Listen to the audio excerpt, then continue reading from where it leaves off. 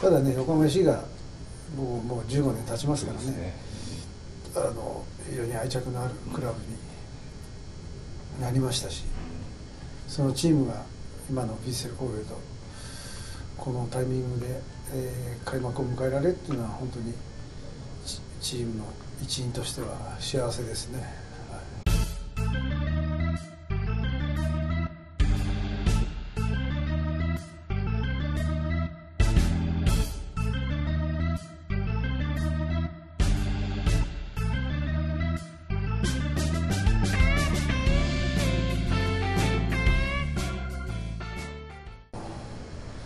まあ、どことこう開幕戦やりたいかっつったら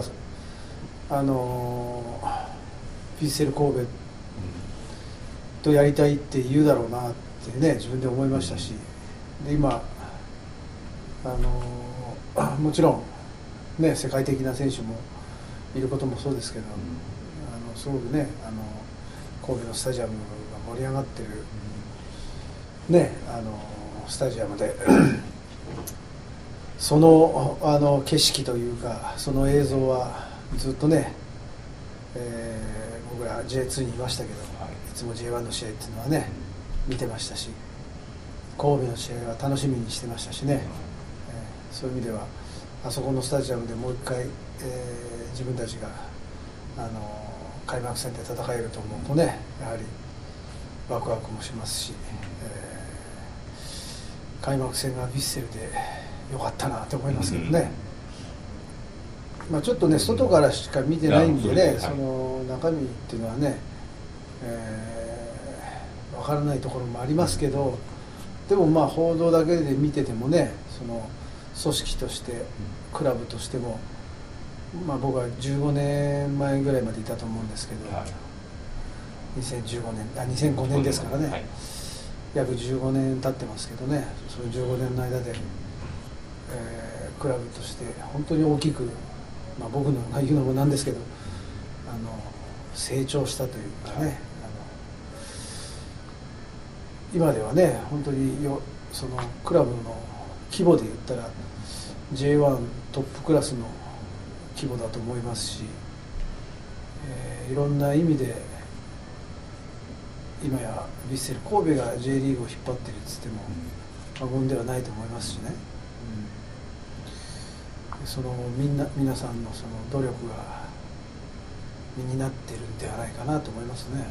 はい、まあ、さん去年 J1 昇格を決めた後に、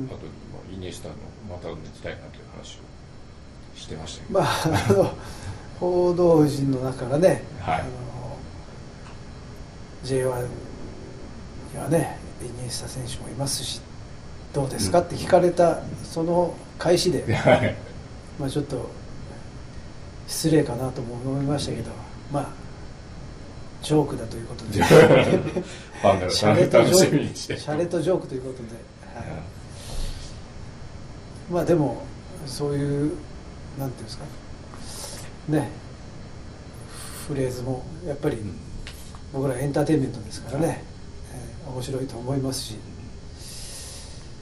まあ当然ねあの僕としてもねまだそのピッチに立てるかどうか今現時点でそのメンバー入りしなければ神戸へすら行けませんからね、うん、そういう意味ではここからどうやってアピールして、えー、どういう結果を残して、えー、メンバー入りしていかなきゃいけないかっていうのはね自分自身も本当に